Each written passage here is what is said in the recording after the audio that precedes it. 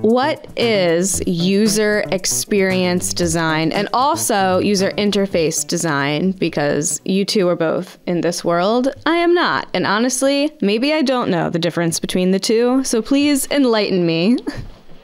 Yes. So user experience has to do with the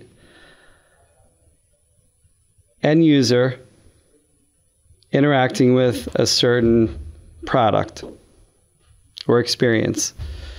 And what that is, is building a foundation, a framework that you're creating for the ability of user interface to be layered on top. What are examples of those things?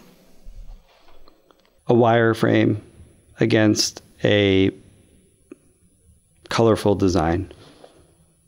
So the structure of the website is the experience, but the actual So, like yeah. colors that you choose.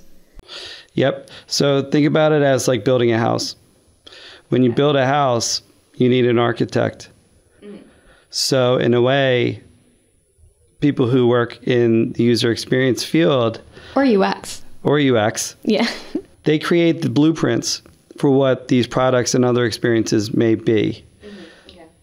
Uh, they're mapping it out. They're including annotations of the experience of something that it could do. Um, all the details are being mapped out based off of these different user journeys. So it's very human centered scenario of different behaviors making this person go this way and then you know they go through the door and they're going to look left or right you know similar to like a website. I'm scrolling down the page. Here are some services. This is appealing to me. I'm going to click through. And you go through different uh, user flows. So if UX is the architect with the blueprints in this analogy, then what is UI?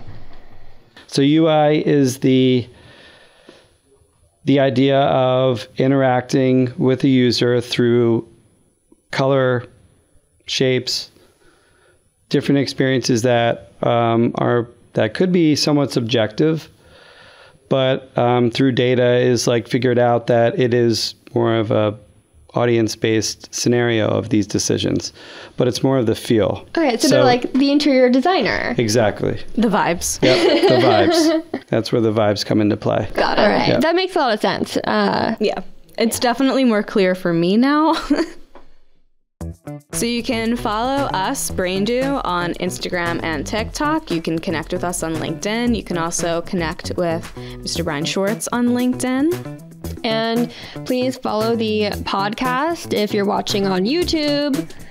Please consider subscribing or leaving a comment if you're listening on an audio streaming platform. You know, maybe leave a review. We love that.